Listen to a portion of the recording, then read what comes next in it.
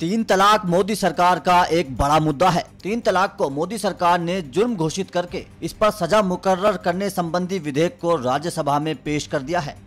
लेकिन लोकसभा की तर्ज पर इसे उच्च सदन राज्यसभा में पास कराने की राह आसान नहीं लग रही है।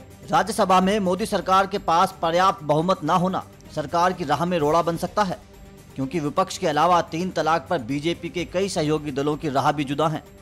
मोदी सरकार के हर काम में साथ खड़ी नज़र आने वाली ए के शिवसेना और टीडीपी तीन तलाक के बिल में संशोधन चाहती हैं।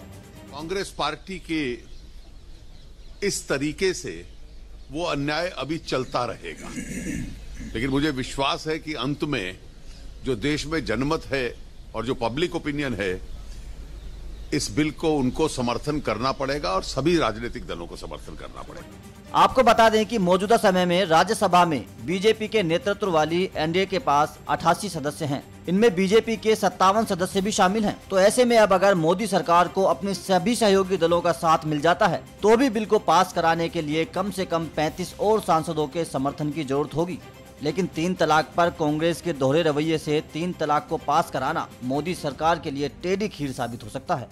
न्यूज़ एक्सप्रेस की रिपोर्ट।